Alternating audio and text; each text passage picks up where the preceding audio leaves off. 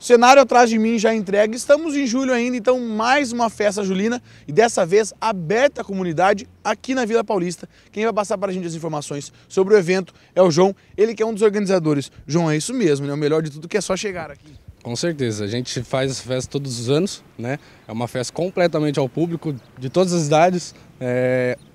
Não tem o que dizer, é aberta ao público, que é só chegar só chegar, mas tem que trazer alguma coisa. Com certeza. A gente pede de entrada um prato doce ou um prato salgado, que é só chegar e colocar na mesa. Algumas atrações também, né? Teremos músicos ao vivo também os dois dias, né? Que a festa é dia 20 e 21 de julho. E também teremos brincadeira para criançada, teremos muitas surpresas também. E muita, muita música e muita dança. A novidade da vez é que o espaço vai ser maior, é isso? Com certeza, né? Cada ano a estrutura da nossa festa só aumenta.